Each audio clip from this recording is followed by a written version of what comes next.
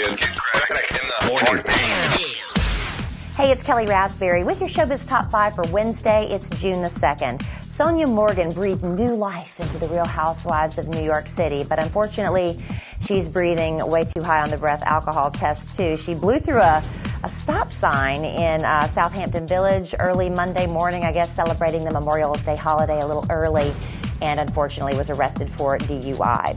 John Mayer has canceled several shows in Europe because of some illness. He's not saying exactly what it is, but he is flying back to the United States and says he should fully recover under a doctor's care.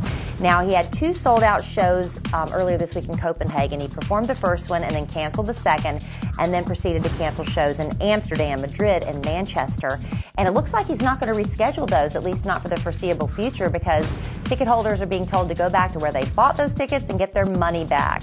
He does start the U.S. leg of his tour June 16th, excuse me, July 16th in Charlotte, North Carolina. Talk about really bad timing or perfect timing if you're a diabolical drug addict. Lindsay Lohan had to have her wisdom teeth removed, and of course, she'd need pain medication to get through all the suffering and, you know, to keep her sedated through that process. So, last week the judge ordered her to wear a scram ankle monitor and also said she had to submit to random drug testing.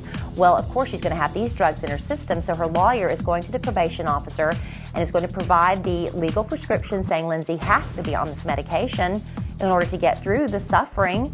Would a drug addict go so far as to have their wisdom teeth taken out just so they could do the hard stuff? Charlie Sheen's going to plead guilty to a misdemeanor offense and spend 30 days in jail for the Christmas Eve attack uh, against his wife when he pretty much held a knife to her throat and threatened to kill her. At least that's her side of the story. Now he's going to report to court in Aspen, which is where this offense took place back over Christmas, and he will immediately start serving those 30 days.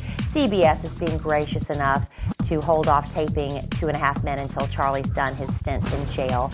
And of course, Charlie, you know, he has a big addiction of his own to cigarettes.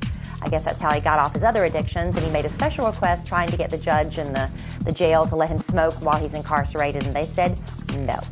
And finally, MediaTakeout.com. Love that website. It's a hilarious way to spend some time at the office when the boss isn't looking. Well, they did get it right saying that Khloe Kardashian is pregnant. She is two months along. And now they're saying that Drake got his girlfriend pregnant. She's an exotic dancer slash model who goes by the name of Malia Michelle.